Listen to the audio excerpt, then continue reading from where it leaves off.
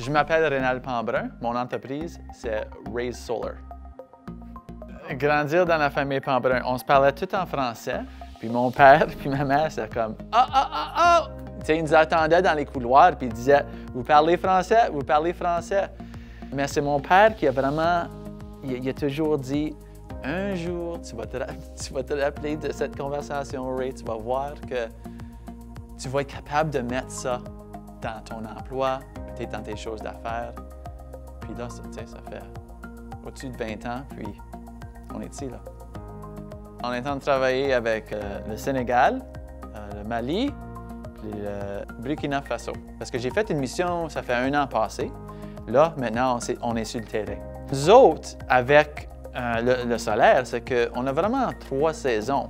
Mais avec l'Afrique, j'avais rencontré du monde qui avait des atouts, puis aussi qui avait eu de l'expérience. Pas direct dans le, domaine renouvelable, mais j'ai dit, si je peux prendre mes expériences comme homme d'affaires, puis on a les ressources, puis on peut prendre le, monde qui ont les connaissances, on met ça ensemble, puis on s'en va exploiter un nouveau marché.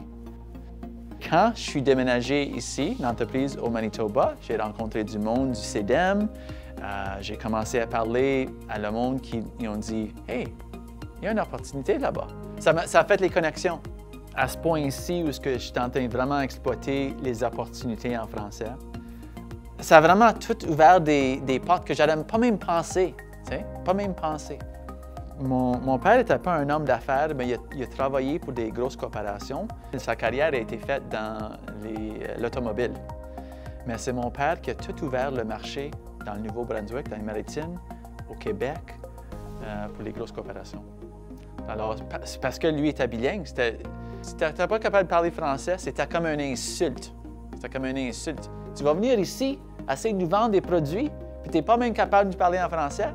Récemment, il m'a repartagé cette histoire-là, puis euh, j'ai partagé avec lui qu'est-ce que je suis en train de faire avec l'Afrique, puis au Saint-Boniface. Alors, il dit, tu vois, je t'ai dit, un jour,